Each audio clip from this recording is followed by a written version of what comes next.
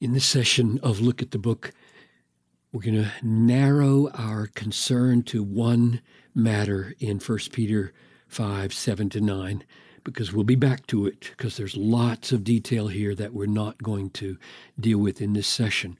In this session, I want to um, discover with you the answer to the question Does God's care for us make us careless or careful. In other words, if God fights for us, do we need to fight? Does God's protection of us make us passive? Or does it make us mighty warriors? And the, the, the method that we're going to focus on is simply to notice that when two verses or two sentences or two clauses flow from one to the other, and there's no connector phrase, like right here, there's no because, there's no in order that, there's no and, there's no although, there's no so that. It just starts a new phrase. We shouldn't just draw a line there, memorize this verse as precious, then memorize this verse as precious, and not notice the connection because this connection here answers answers the question. So Father, I pray that the biblical logic that flows between your carrying our anxieties and our being careful and not careless would be plain and powerful for all of us as we see it. In Jesus' name, amen. So let me read this 1 Peter 5, 7, and 9. Casting all your anxieties on Him, God, because He cares for you. It's one of the sweetest sentences in the Bible. He cares for you. Be sober minded, be watchful. Your adversary, the devil, prowls around like a roaring lion, seeking someone to devour. Resist him. So, sober, watchful, resistance, firm in your faith, knowing that the same kinds of suffering are being experienced by your brotherhood throughout the whole world. So, we got lots more to say about that. All I want to do in this session is take serious note. Let, let the connection here really have its impact.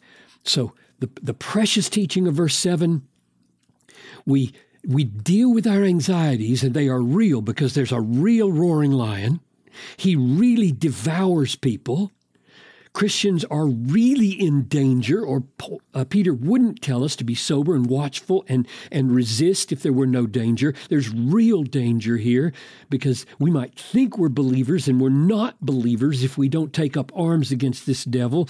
So there is a real danger, therefore, there are real anxieties. So we got to deal with them in the right way, and that's by letting God care for us, which now raises the question for lots of people oh, God's going to care for me? I don't need to worry about this roaring lion. I've got an almighty God who cares for me. What's the point of my being sober? What's the point of my being watchful? What's the point of my resisting? I've got a God who cares for me. And he's stronger than the devil. And so I don't need to be watchful and sober minded and resisting. You, you, can hear, you can hear that kind of logic. And people do that. They pick and choose and they draw out their own uh, fancies about what it implies that God cares for us and our anxieties are on Him, and they pay no attention to reality. And the reality is this connection right here is massively important. Whatever word you would put there, the reality is when our anxieties go unto him. And we are freed from anxiety because he cares for us. The result is not careless Christians. The result is sober minded, watchful Christians. When God says, I will protect you, don't worry, don't worry, don't have anxieties, I'll protect you. The result is not no warfare. The result is fight and fight to win. You don't fight out of anxiety, you fight out of watchfulness. When you're watchful, you don't have to be anxious. When you're so reminded, you don't have to be anxious, but you do have to fight.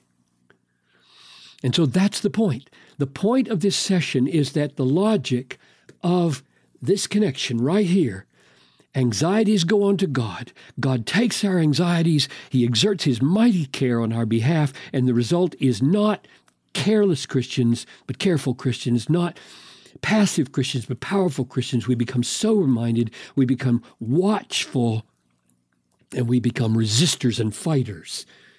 And then what I do when I discover something like that, and I want to preach on it, or I want to share it with my family, or I want to put it in a devotion, or I just want to meditate it for my soul, meditate on it for my soul. I look for it elsewhere. And here, look at this in, in 1 Peter 4:10, as each has received a gift from God, a wonderful, powerful, glorious people helping gift, use it to serve one another as good stewards of God's varied grace. We are stewards of grace. Grace doesn't make us passive, it makes us stewards. Whoever speaks, yes, you don't shut up because God has given you a gift. You open your mouth because God has given you a gift. As one who speaks, speaking the oracles of God, as one who serves, serving in the strength that God supplies. If God supplies strength, what do we do? We serve. We don't go to bed. God fighting for us, God giving us strength, makes us active, not passive. Same thing in Philippians 2:12. Work out your salvation with fear and trembling, for God is the one who is at work in you both to will and to work for his good pleasure. So many people go exactly the opposite. They say, well, if God is, is working the will and working for his good pleasure in us, then we don't have to work out our salvation. And the people that turn passive like that and say, you don't need to fight the devil and just lay down and let him put his jaws on your brain or on your heart, those are people who are showing they don't have God working in them. They're fake Christians. We can see it again in 1 Corinthians 5:10. By the grace of God I am what I am, and his grace toward me was not in vain. On the contrary, I worked harder than any of them, though it was not I, but the grace of God that was with me. You want to know whether you have the grace of God in you? Does it produce warfare against sin? Does it produce loving other people? Or Ephesians 6:10 where it talks about the devil himself finally be strong in the Lord. Be strong in the Lord. Do you see that? It's not you have to choose between being strong or letting the Lord be your strength. No. In the Lord he makes us strong. Why so that, let's read it, finally be strong in the Lord and in the strength of his might. Put on the whole armor of God that you may be able to stand. That standing right there against the schemes of the devil is the same. Back here in chapter 5 of First Peter, it's the same as resist him. All your anxieties have gone unto God. He's now caring for you. He's fighting for you. He's strong for you. But that doesn't make you careless. It doesn't make you passive. It makes you mighty to fight, mighty to resist the devil.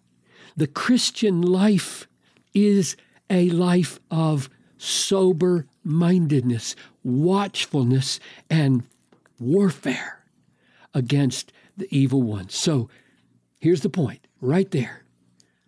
Do you stop right here and draw out your own fanciful implications about God carrying your anxieties and say, oh, well, we can just eat, drink, and be merry because life is que sera, sera, and God's in charge and I don't need to do anything?